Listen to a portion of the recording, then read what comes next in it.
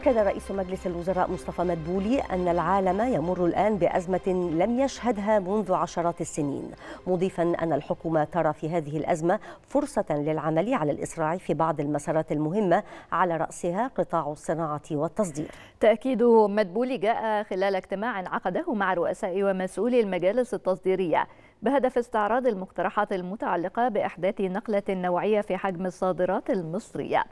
وخلال الاجتماع كلف رئيس الوزراء وزيرة التجارة والصناعة بالتعاون والتنسيق مع المجالس التصديرية لإعداد ورقة عمل عامة يكون هدفها مضاعفة الصادرات على أن تكون هناك ورقة عمل خاصة بكل مجلس تصديري على حدة.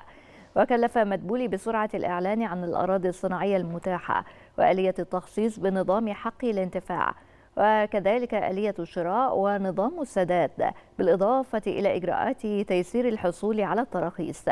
من جانبهم طالب المصدرون بأن تكون هناك حزمة تحفيزية للاستثمارات المحددة المطلوبة بحيث لا تكون متاحة للجميع.